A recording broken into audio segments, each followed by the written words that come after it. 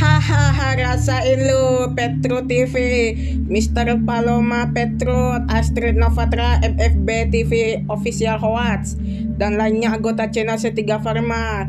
Kebakaran pabrik C3 Pharma kebakaran!